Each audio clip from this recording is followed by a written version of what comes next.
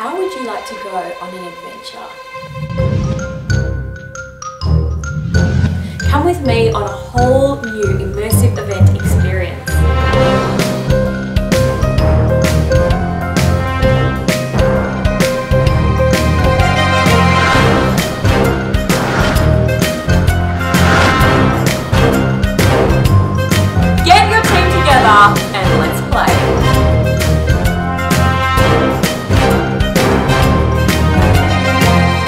Interactive.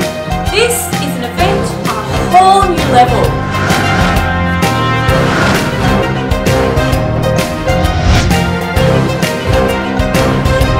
You don't just have the show and the audience, you have everyone in together, experiencing it together. This is where the gold is. This is where team building actually happens because people start to communicate on a whole different level.